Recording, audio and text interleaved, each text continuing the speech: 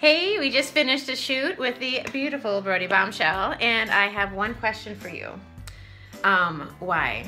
Why did you come in for a boudoir shoot today? I think it's really important um, to feel good about yourself. I think it's important to let your kids know, your girls especially, that you feel good about yourself. She has to three. Promote a good body image and let them know that you're comfortable in your skin so they can too be comfortable in their skin.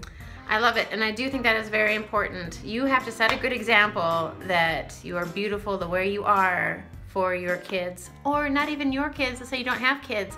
You've got nieces or nephews or young people in your life that you need to set a good example for. So show some self-love so that other people know that they can love themselves too. That's right.